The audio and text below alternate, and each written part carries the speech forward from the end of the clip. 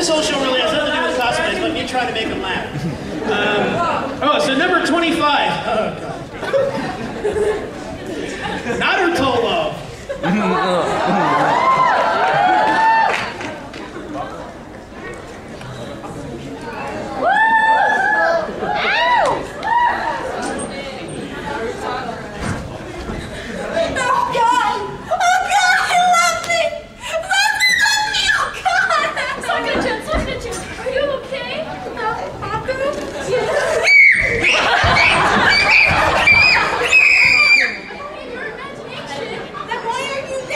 What are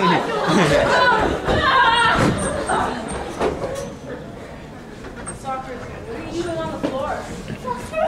Sasuke, you're lying! You're fucking right! Don't touch the Sasuke-ness.